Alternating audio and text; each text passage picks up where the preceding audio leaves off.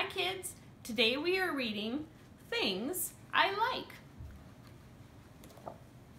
This is me, and this is what I like. Painting and riding my bike. Playing with toys and dressing up.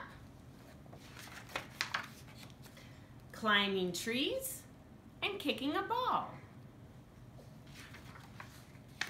Hiding and acrobats. Building sandcastles and wading in the sea. Making a cake and watching TV. Going to birthday parties and being with my favorite friends. Having a bath, hearing a bedtime story,